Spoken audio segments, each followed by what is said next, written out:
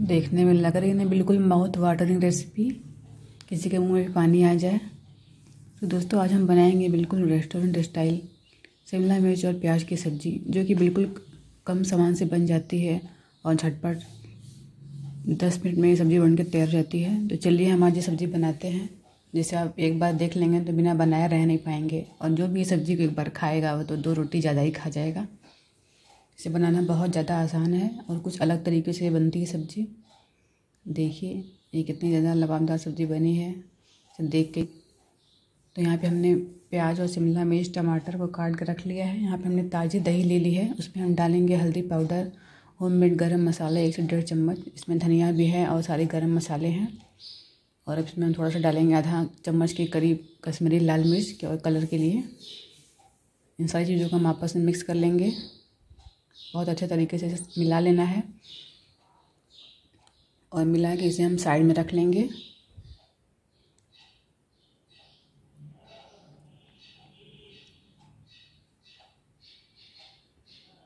और अब हम गैस कढ़ाई रखेंगे और उसमें डालेंगे एक चम्मच ऑयल। बिल्कुल कम ऑयल में यूज़ करना है, सब्ज़ी बहुत कम तेल में बन जाती है।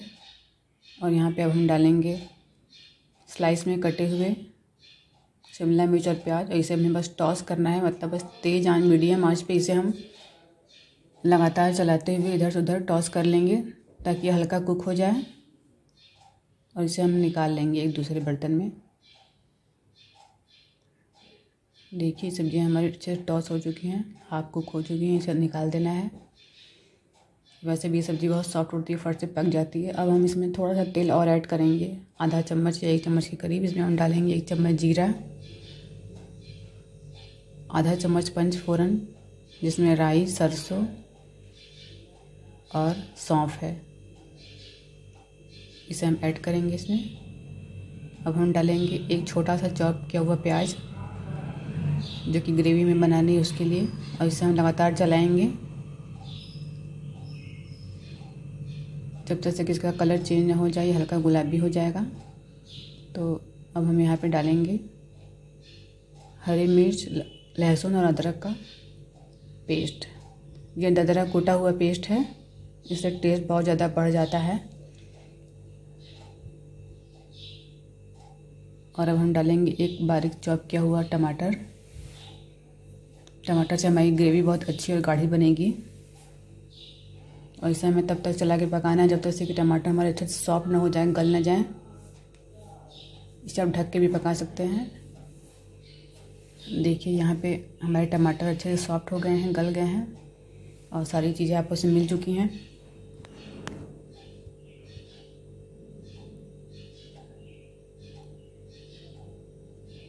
अब हम यहाँ पे डालेंगे अपना दही का मिक्सचर जो हमने पहले से तैयार करके रखा था। इसमें डाल के हमें मिला लेना है अच्छे से। लगातार चलाना है ताकि हमारी दही फटे नहीं और हमारा सारा ग्रेवी अच्छे से बन जाए। और अब यकीन नहीं मानेंगे, सब्ज़ी बहुत ज़्यादा डिलीशियस बनती है और बहुत झटपट बन जाती है। और जो भी खाएगा तो सोचेगा कि कहीं आपने बाहर से मंगवाया है। लगेगा नहीं कि घर पे बना है। इसका इतना स्वाद अलग रहता है, बेहतरीन। अब हम इसमें डालेंगे टेस्ट के अकॉर्डिंग नमक और इसे अच्छे से मिक्स कर लेंगे। देखिए जैसे जैसे सब्ज़ी हमारा भुन रहा है, इसका कलर कितना अच्छा हो रहा है। दही अपना ऑयल रिलीज़ कर रहा है, सारे मसाले मिल चुके हैं तो ग्रेवी बहुत ही अच्छी बन के तैयार है। बिल्कुल सारी चीज़ें आपस में मिल चुकी हैं। देखिए, हमारी सब्ज़ी ऑलमोस्ट तैयार है। अब हम यहाँ पे थोड़ा सा पानी डालेंगे सब्जियों के लिए, जो दही वाला बैठा था उसी में घोल के, और लास्ट में हम डालेंगे अपना हाफ़ कुक किया हुआ प्याज और शिमला मिर्च, इसे मिक्स कर देंगे। और बस लास्ट में हम डालेंगे कसूरी मेथी, आधा चम्मच के करीब।